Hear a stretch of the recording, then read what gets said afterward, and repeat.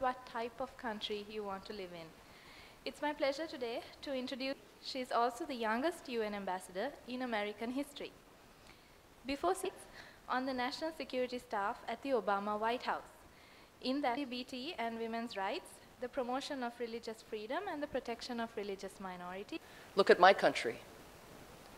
Look at the ways in which, in recent days, extremely destructive invocation of fear has begun to dominate in our political discourse.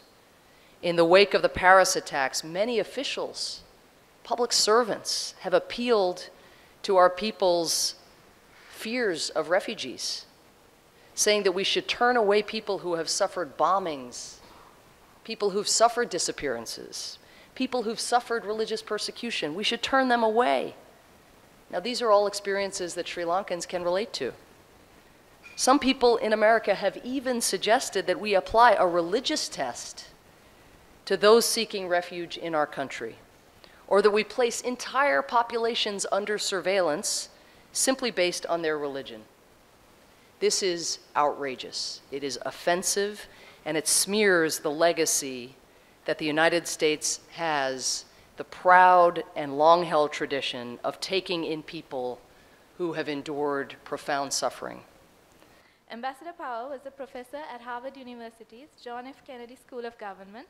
Ambassador Power has been an inspiration because she started her career as a journalist and eyewitness to it in the Bosnian War as a young reporter. Ambassador conflict that can tear nations apart and people apart and make the world just consider the last few weeks alone Ankara, Sinai, Beirut, Paris, Bamako.